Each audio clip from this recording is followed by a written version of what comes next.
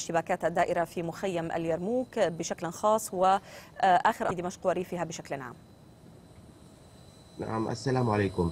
لا زال القصف متواصل على أحياء دمشق الجنوبية وخاصة على حجر أسود والعسالي ومخيم اليرموك الذي تجدد فيه الاشتباكات منذ قليل على مدخل المخيم وفي محيط قسم اليرموك وسقوط قذيفة في شارع الثلاثين واستخدام للرشاشات وقذائف البي 10 من قبل كتائب الأسد.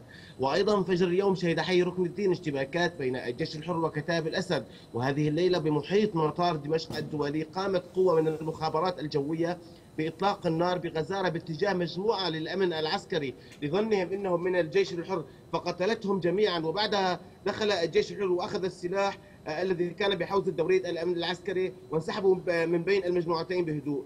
في عين ترمى اشتباكات عنيفة تدور الآن بين أبطال الجيش الحر والجيش وكتائب الأسد على طول المتحلق الجنوبي من محور مدخل البدة وسماع أصوات إطلاق نار الآن بوضوح في الغوطة الشرقية، أيضا في الغوطة الشرقية لم يبقى سلاح إلا واستعملته كتائب الأسد في القصف، واليوم تشهد أربين وبيت سحم وعين ترمى والمليحة أعن... يعني المليحة الآن تشهد اعنف القصف.